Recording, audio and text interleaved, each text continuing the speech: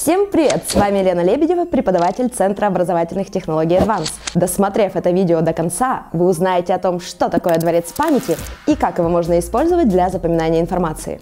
Существуют разные версии названия этого метода. Метод Цицерона, метод Лоций, Локи, но мне больше нравится вариант «дворец памяти». Звучит интригующе, почти как чертоги разума. История этого метода своими корнями уходит в 5-4 век до нашей эры, когда жил древнегреческий поэт Симонит.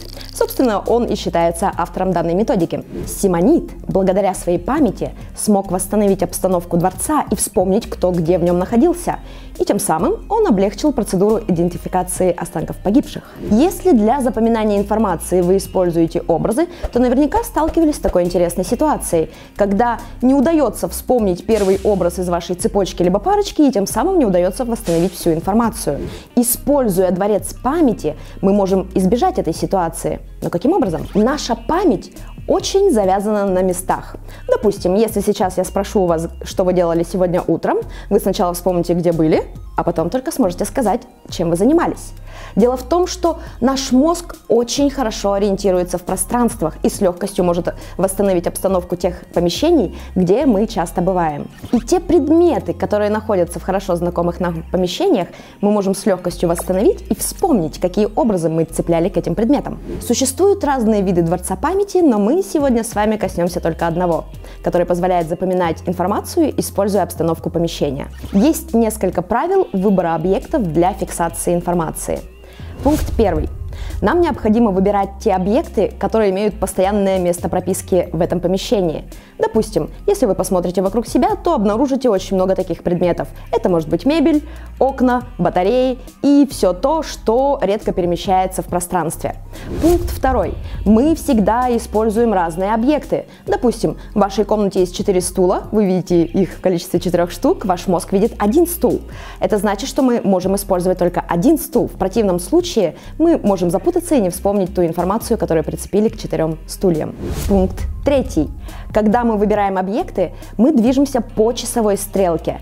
Иногда это требуется для того, чтобы сохранить последовательность воспроизведения информации. Прямо сейчас, используя дворец памяти и визуализацию, мы запомним названия городов, которые изображены на купюрах российских рублей. В качестве дворца памяти мы с вами будем использовать обстановку купе. Почему купе? Потому что города, путешествия Чаще всего по России люди перемещаются на поезде. Для запоминания информации нам потребуется 8 объектов, равное количеству купюр разного номинала. Итак, что же это будут за объекты? Давайте вспомним обстановку купе. Какие предметы мы там видим? Дверь, спальное место, а, специальные карманы сеточки для хранения всяких мелочей, светильник, столик, окно, лестница, позволяющая попасть на верхнюю полку, и полка для хранения багажа. Для представления образов мы с вами будем использовать как прямые ассоциации, так и ассоциации, подобранные по звучанию. Давайте возьмем первую купюру номиналом 10 рублей, на которой изображен Красноярск. На число 10 мы с вами возьмем 10 пальцев. Красноярск, возможно, не все были в этом городе, мы возьмем слово «кроссовки», потому что оно созвучно со словом «Красноярск». Теперь нам необходимо прицепить эти образы к первому объекту из нашего купе. Если вы помните, это была дверь. Давайте представим, что наша дверь купе закрыта, и из нее торчат 10 пальцев, и на каждый палец надеты маленькие кроссовочки. На следующей купюре номиналом 50 рублей изображен Санкт-Петербург. На 50 мы с вами возьмем такую интересную ассоциацию, как книга либо фильм «50 оттенков серого».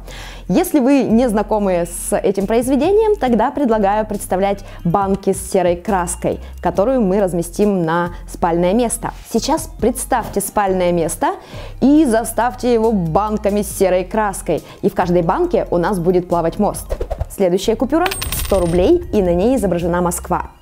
На число 100 мы с вами возьмем такую интересную ассоциацию. Что такое 100? 100 – это век, либо века – а, помните, был такой персонаж Ви, и он просил поднять ему веки, поэтому на 100 мы будем использовать Вия. На Москву мы возьмем одну из башен московского Кремля. Теперь представьте следующую сцену. Наш Ви будет зажат э, в, этой, в этом сетчатом кармане, и у него изо рта будет торчать башня Кремля. На купюре в 200 рублей изображен Севастополь. Какие же ассоциации мы будем использовать на эту купюру.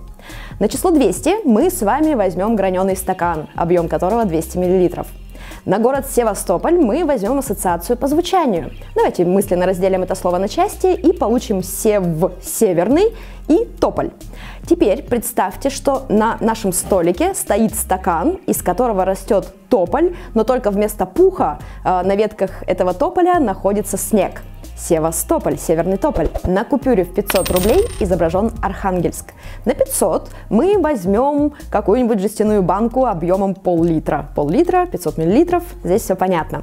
На Архангельск мы будем использовать образ ангела. И сейчас нам необходимо этого ангела, который будет пить из нашей жестяной банки, посадить на светильник. На купюре номиналом 1000 рублей изображен Ярославль. На 1000 мы с вами будем использовать образ Шахерезады из «Тысячи и одной ночи».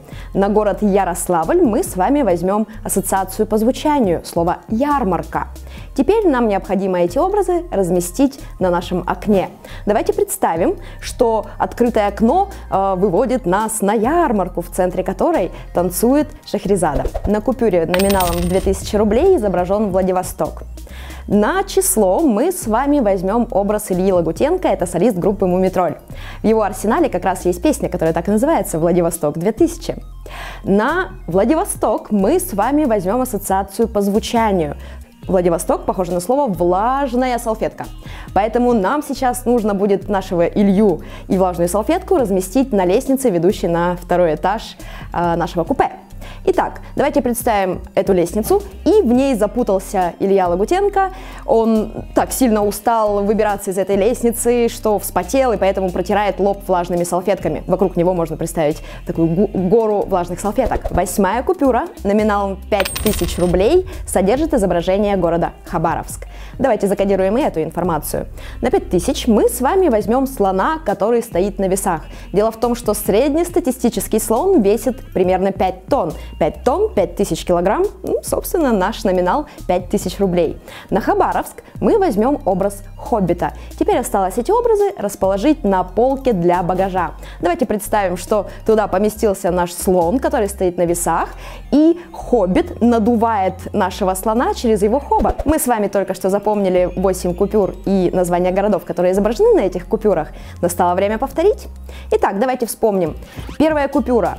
У нас была дверь купе, которая была закрыта, и там застряли пальцы с кроссовками. 10 рублей Красноярск. Следующий объект – спальное место, которое было заставлено банками с краской, и в этих банках плавали мосты. 50 рублей Санкт-Петербург. Третий предмет – карман из сетки. В нем сидел у нас Ви и грыз башню Московского Кремля. Соответственно, 100 рублей Москва. На столике у нас стоял стакан, и из этого стакана рос тополь, только вместо пуха на нем, на его ветках находился снег. Поэтому 200 рублей – это Севастополь. Следующий объект – светильник. На нем у нас сидел ангел и что-то пил из жестяной банки объемом пол-литра. Соответственно, 500 рублей – Архангельск. Через окно нашего купе мы попадали на ярмарку, в центре которой танец живота танцевала Шахризада. 1000 рублей – Ярославль. В лестнице у нас запутался Илья Лагутенко, и он настолько вспотел, выбираясь из этой ловушки, что начал вытирать себе лоб влажными салфетками. Соответственно, 2000 рублей – Владивосток. На полке для багажа у нас разместился слон на весах, и голову этого слона Через хобот надувает хоббит. 5000 рублей – Хабаровск. Таким образом, мы с вами запомнили названия городов, изображенных на 8 купюрах. Если вы хотите совершенствовать данную технологию, переходите по ссылке в описании. Спасибо, что досмотрели это видео до конца. Если вам было интересно и полезно, поделитесь впечатлениями в комментариях. Ставьте лайк, подписывайтесь на наш канал, а чтобы получать уведомления о новых видео, нажимайте на колокольчик. С вами была Лена Лебедева и Центр Advance. До новых встреч! Песня, которая, собственно, так и называется «Владивосток». Владивосток. Владивосток.